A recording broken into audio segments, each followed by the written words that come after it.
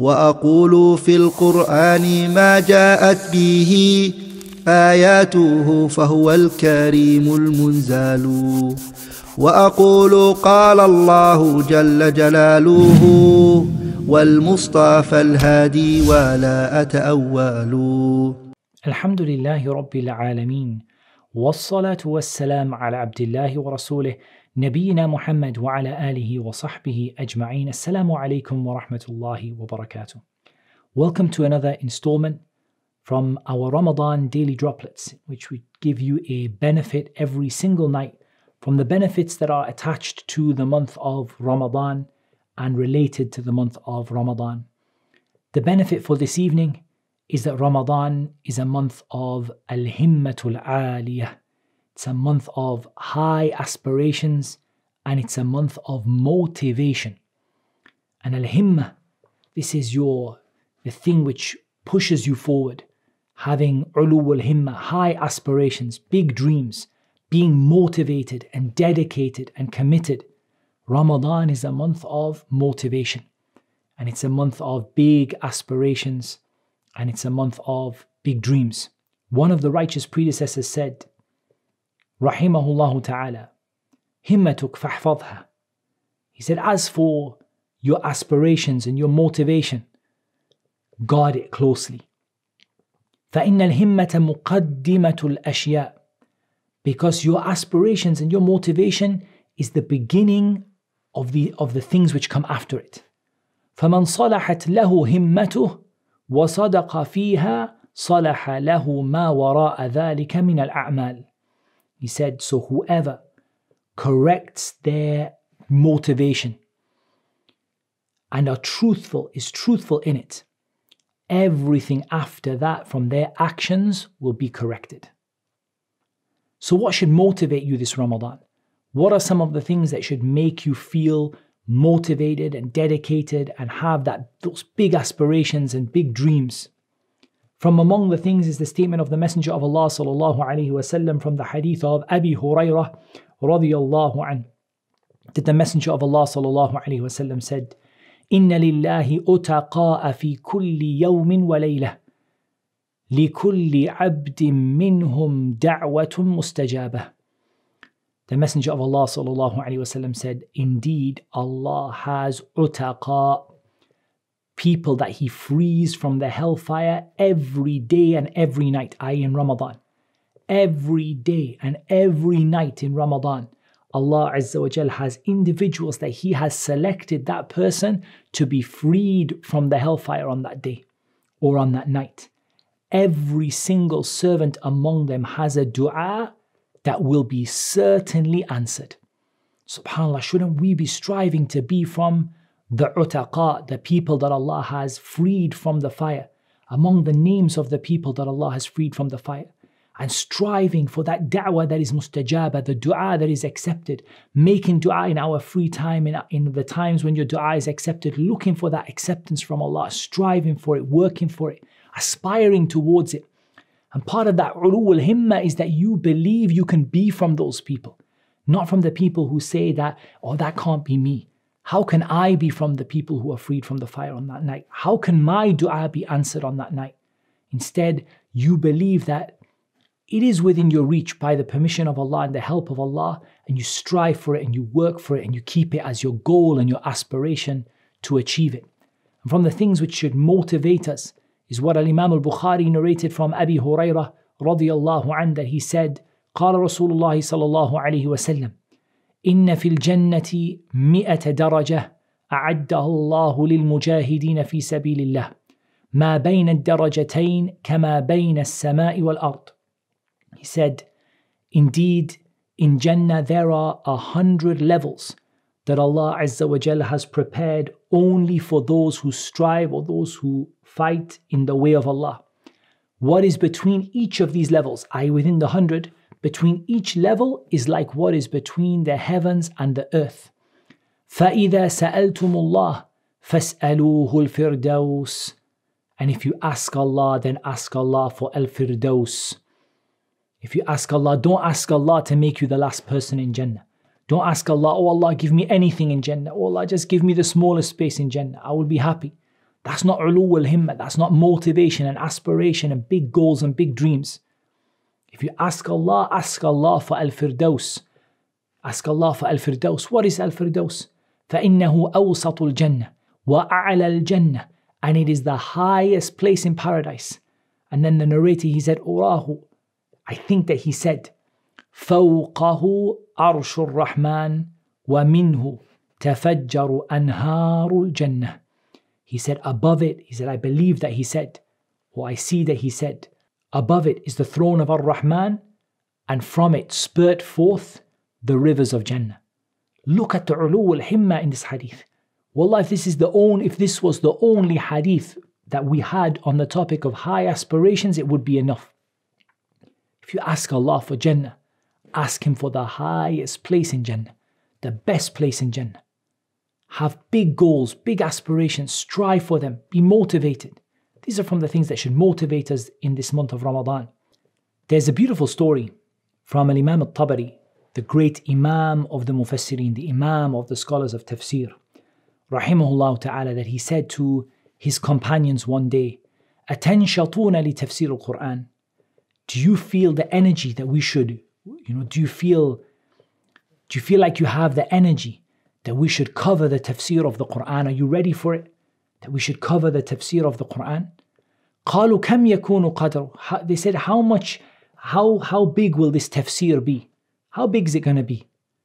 فقال ثلاثون ألف ورقة. He said 30,000 pages long. How big is this tafsir going to be? 30,000 pages long. That's how big it's going to be. 30,000 pages. Can you imagine that? فقالوا هذا ربما تفنى الأعمار قبل تمامه. They said perhaps a person's entire life would end before they were able to finish it. فاختصره في نحو ثلاثة آلاف ورقة. So he summarized it in 3,000 pages for them.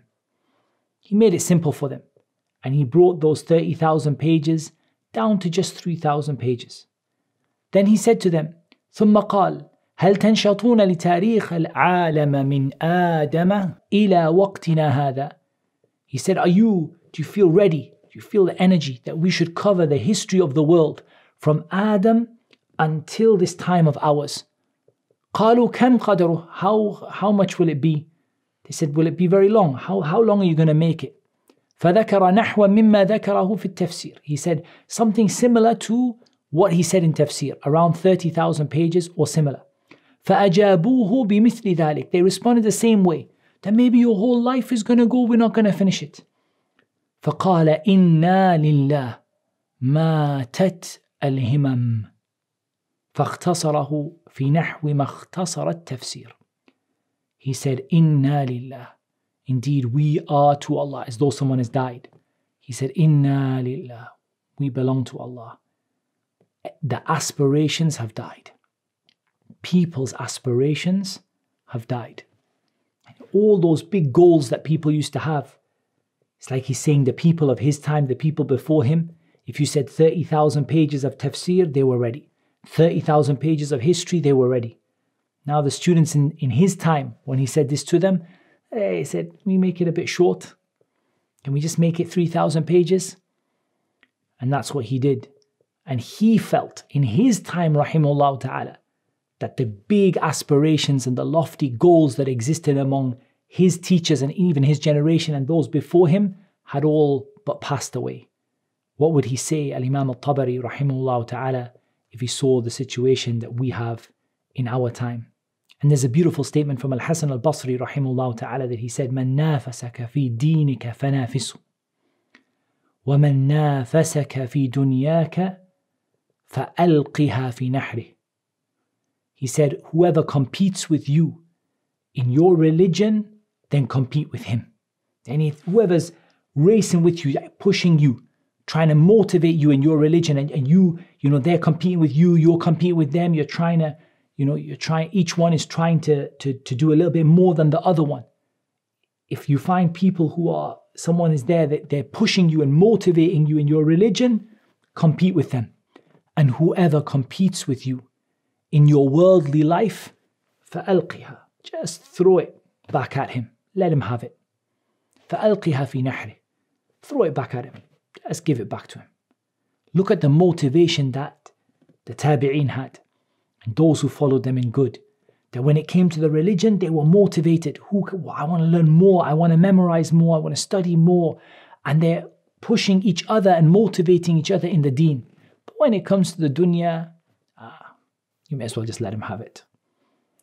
And Abi Hurairah رضي الله عنه narrated قال رسول الله صلى الله عليه وسلم المؤمن القوي خير وأحب إلى الله من المؤمن الضعيف وفي كل خير He said that the strong believer the Messenger of Allah وسلم, said that the strong believer is better than the weak believer and there's good in both of them احرص على ما ينفعك واستعن بالله ولا تعجز Be keen for what will benefit you. And this is the himmah here. Be have hirs, be haris, be keen, looking out for everything that will benefit you. Some of the scholars said whether it's in your dunya, your deen, whatever there is that you find a benefit for you that's going to bring you nearer to Allah in any aspect of your life, be haris, be keen for it, be motivated for it. Wasta'in billah and seek the help of Allah. Because motivation on its own, it won't bring you to the goal. You have to seek the help of Allah. Wala ta'jiz, and don't ever say that you can't do it. Don't ever, ever say, I can't do it. Don't ever feel you're going to be defeated. Don't ever feel, I'm unable to do this. Don't ever sit down and say, oh, there's no point. There's no benefit for me. I can't do this. وإن أصابك شيء فلا تقل لو أني فعلت كان كذا وكذا. And if something happens to you, something befalls you, a difficulty, a calamity, something goes wrong in your hirs, in your keenness to get what's going to benefit you, and you slip up Never ever say, if only I did this, then this would have happened, or that would have happened. This would have happened, or that would have happened.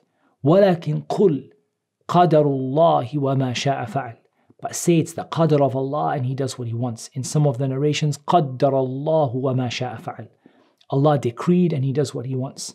فإن لو تفتح عمل الشيطان.